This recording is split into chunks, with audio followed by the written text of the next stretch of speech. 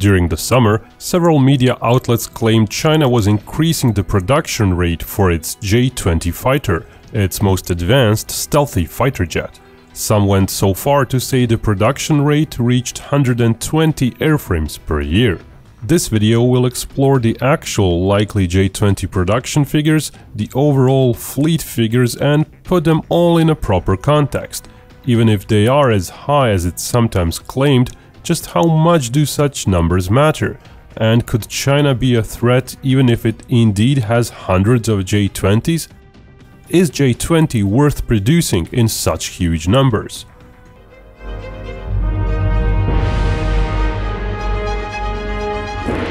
Hey, what's this? Binkov plushies are back in stock? Yes, the second batch is in indeed and you too can take your own Binkov Adjutant home. If you want one for yourself or as a gift, do check out our Crowdmade store. The link is available below in the video description. It's not too small, not too big, perfect for your desk or your shelf next to your military history books. Or you can give it away. We've made it as low cost as humanly possible, which is very hard when you're contracting very small production runs. Binkov plushie costs $49.99, that's US dollars. Well, go ahead and treat yourself. Binkov has already made a video that touched upon J-20 production figures as part of the overall Chinese Air Force procurement rates. That was roughly a year ago. To be frank, even back then there were some indications production rates for the J-20 could be bigger than we were comfortable estimating. But hey, better safe than sorry. With another year gone by, we can now say that indeed J20 production figures do seem to be going quite high up, and very quickly so. For the methodology used, please refer to our previous video just mentioned. Back then, we said that by September 2022, up to three new brigades of the Chinese Air Force have been spotted using J-20 fighters that the units are getting new planes in batches of 10, and that most J-20 frontline units, once fully populated, end up having 20 or 30 airframes. J-20 full brigade conversion seems to require about a year. So far, using the trickle of imagery of new planes and dating them, the influx of J-20 over the years seems to have been greatly accelerating. By the end of 2019, some 40 to 50 airframes were made the list shows specific units getting their airframes. After 2021, the delivery pace went up considerably. Indeed, 2022 saw three more brigades standing up. Further photos from this year seem to indicate the procurement is ongoing at an increased pace. By the summer, 8 J-20 frontline brigades were observed using the type, on top of training units. Finally, a China Central television segment mentioned that the 98th Brigade will be getting the type. When that happens, that will mark the 9th Brigade overall. Once again, not all those units actually operate as many as 30 or even 20 J-20s, as time is needed to fully convert the unit. The two tactics development and training bases are estimated to share some 30 J-20s between them. The flight test base at Yanliang usually has a few more J-20s observed. Most of the other brigades mentioned have 20 J-20s, though some have been spotted with high unit serial numbers, suggesting those brigades have more, like the 1st and the 9th Brigade. The 55th and 131st Brigade, having received first J-20s only months ago, are still likely at 10 or so airframes. That method of counting the unit serials gets us to roughly 210 or 220 airframes by the end of summer. It's not necessarily very precise, but there's another parallel counting method, spotting the much smaller in size construction numbers on various airframes. Those are harder to come by, being so inconspicuous, but occasionally photos like this one will emerge. Taken at the very end of December last year, it suggests 156 airframes were delivered by then. Number 7 denotes the 7th overall serial standard batch, following a pre-serial standard 0 batch of 2016. From end of the year 2022 to August 2023, it's very likely dozens more J20s were delivered, populating all those additional units, so the timing of that 156 serial also checks out. Possibly related to all that, around July 2023, rumors started that the milestone of 200 J-20s produced or delivered had been reached. Of course, as with any rumor, that's impossible to verify, though milestones are more likely to somehow leak out. Another piece of, well, not evidence, but strong indication is the remarkable expansion of manufacturing facilities at Chengdu Aircraft Corporation, making the J-20. From 2020 to 2022, they added some 0.27 square kilometers of large buildings. That's some 3 million square feet. And that comes on top of previous Chengdu facilities, which were already sprawling at over 4 million square feet. In the mid-2010s, Chengdu was making over 40 J-10 fighters a year, so these new facilities, combined with the old ones, likely rival the US biggest Air Force production plant building, the one in Fort Worth, making F-35s, which is 0.4 square kilometers in area, or some 4.5 million square feet. But even with the plant expansion, the single-engine J-10 fighter has likely been a victim of J-20's success. For some years now, no new units have been observed getting the J-10, so it's plausible J-10 procurement has been curtailed to make room for J-20, with only some J-10s being made for export. Anyway, knowing all this, a plausible production pace for the J20 through the years may look something like this, with 2023 of course being the production rate for the entire year, meaning a figure achieved at the end of the year. So all those media claims that mentioned 100 or even 120 J20s produced in a year are most likely wrong. The production pace has gone up considerably between 2022 and 2023, but even with the whole 2023 accounted for, it's likely not gonna hit 90 airframes, let alone 100 made in 2023, or 120 as some of the most outlandish media headlines screamed. The 120 figure in particular seems to have originated out of nowhere, likely from some random internet forum. The 100 figure likely originates from a vague quote by individuals in China that J20 production reached a three-digit value per year, though by looking at it more closely, one can surmise that the actual meaning may have been that the end of 2023 is when production pace might meet a three-digit figure. That means that the 2024 production tally might reach 100 airframes. That's their estimate, but we usually like to err on the side of caution, so we are unsure of the 2024 production pace. That being said, over 80 airframes made in 2023 is a lot. We're still talking about an advanced 5th generation fighter. For comparison, F-22 Raptor deliveries peaked at 27 per year in 2006. With some 187 production standard Raptors made, the J-20 surpassed its production run sometime this spring. Of course, the Raptor was a child of the Cold War. It was originally envisioned to be made in much bigger numbers, as many as 750 airframes, before the post-Cold War politics eventually cut its numbers. Now, just a short interlude if we may. If you really love our content, feel free to check out our Patreon and our YouTube channel membership. Fan support is becoming more and more important in the deluge of various military-themed channels on YouTube. If you think our channel sticks out quality-wise, let us know. Anyway, while military comparisons should never really be done on one-on-one -on -one basis, the usually most talked about adversary the J-20 might encounter is the F-35.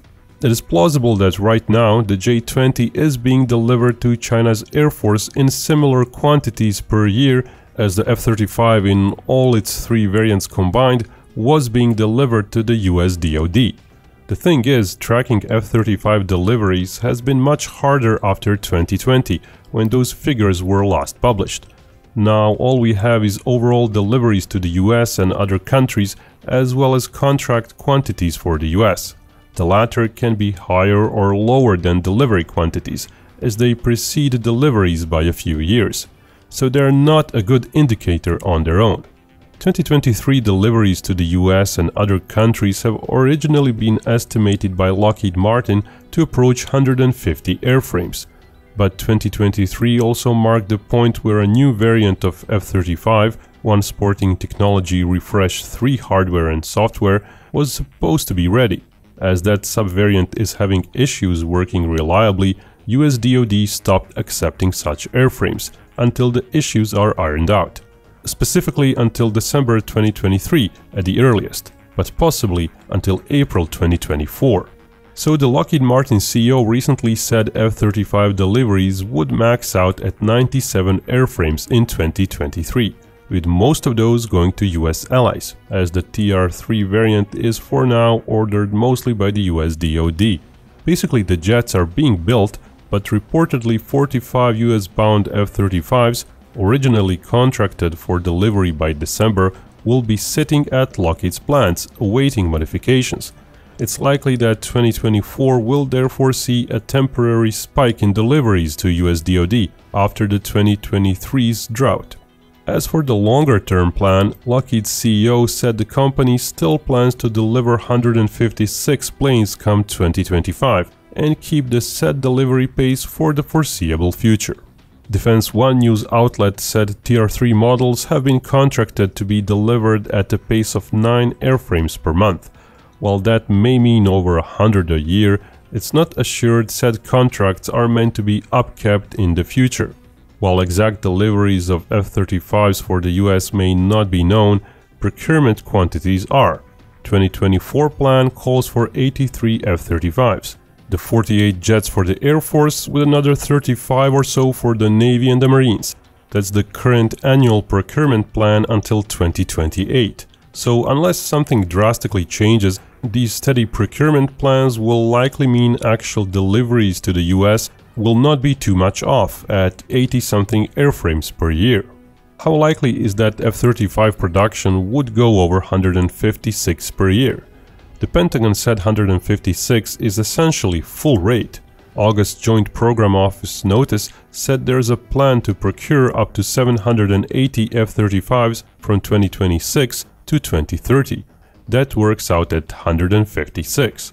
The Joint Program Office said those figures represent a potential ceiling and are not a guarantee of that many actually being procured. In the past, Lockheed Martin said that it could reach 220 per year with the current infrastructure if enough of an investment is made, but this April, Air Force Acquisition Chief Andrew Hunter said that Lockheed would be very stressed to produce more than 156 a year, and that it would probably involve paying for additional tooling, adding more shifts for workers, and naturally finding and training additional workers. Hunter also said the center body component is built at Northrop Grumman's plant in California, where it lacks room to expand further. Turkey was supposed to make additional center body components, but Turkey was kicked out of the program in 2019. Currently, there are plans for Germany to start producing additional center body components. So, to get back to context with J20, its production may keep rising. As said, there are already indications that by the end of 2023 the pace of 100 per year may be reached, but there is no way to tell that for sure yet or estimate if it will go even higher in 2024 and onwards. One key item that seems to be missing are signs of additional infrastructure and support in China's Air Force, like additional training bases, new pilots and so on, that would be needed to support a near future big burst to say 200 airframes a year. For now, it seems likely that the number of newly delivered J-20s will match US ones for F-35s, or go slightly over those on an annual basis. Given the near-term issues listed for Lockheed Martin, J-20 is assured to out-deliver the US F-35s in 2023. But does that really matter? Right now, there are, as said, some 215 or so J-20s in China service. The US operates roughly 650 F-35s of all variants as of September 2023. So right now the US F-35 count is ahead of China's J-20 count by some 430 or so airframes, with the US having 3 to 1 numerical advantage. If both China's and US procurement rates remain steady, in 5 years time we're looking at some 640 J-20s versus 1080 F-35s, or a little under a 2 to 1 numerical advantage.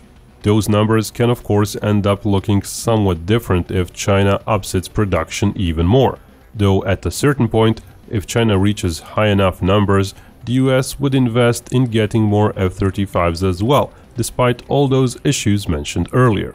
But all those airframe counting thought exercises are beside the point. Yes, the more J-20s China has makes life harder for the US if it comes to a war. But if it does come to a war, geopolitics and alliances would come into play. It would not be US versus China, but the US and several other countries versus China.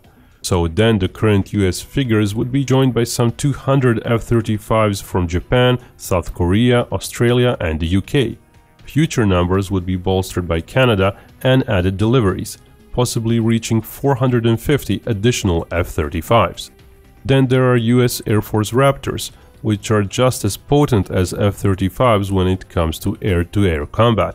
Various other planes can serve as force multipliers, and not just the planes.